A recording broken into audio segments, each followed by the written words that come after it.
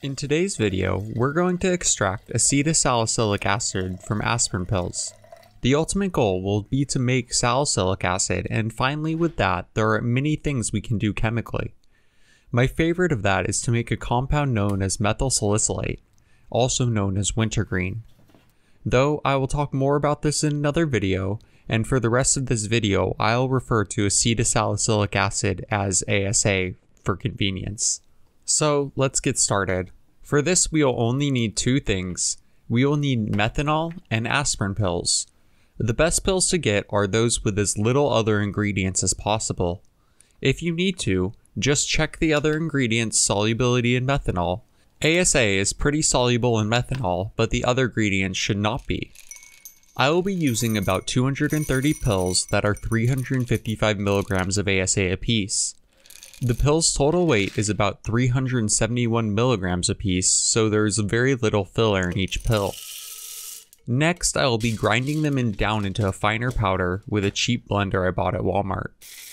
The goal is to grind the pills down fine enough that most of the ASA gets separated from the rest of the fillers in the pill. This will also increase the yield because it will increase the surface area of the powder. Be careful when opening the blender because the ASA dust will go into the air and it's definitely not good to breathe in. Next I add about 400 milliliters of methanol to the flask and turn on stirring. At this point, we're going to add the crushed up aspirin into the methanol in chunks as to make it easier for my stir bar. After near all of it is added, the methanol will be completely white and you should just keep stirring it for about 40 minutes. This gives ample time for the ASA to dissolve into the methanol. After 40 minutes, I turn off stirring and put a flask on top to keep from other particles from falling in. I leave it for a little bit more than an hour, which lets all the undissolved filler sink to the bottom. We can now see a small layer of white at the bottom of the beaker, which will be filtered off. I'm going to be using two coffee filters, though you could try to vacuum pump it off, but coffee filters work pretty well.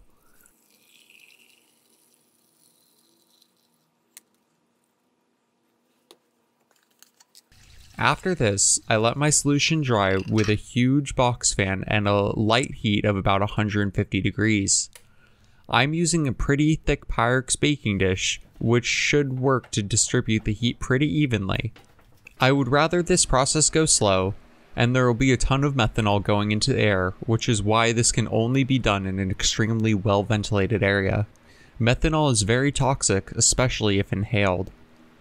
Over the course of about three hours, the entire dish dissolved into very nice, beautiful white crystals. From here, it took about two or three days to fully dry to a weight of 69.1 grams. This is an overall yield of 85%, which is pretty good. In my next video, I'll be converting this ASA into salicylic acid.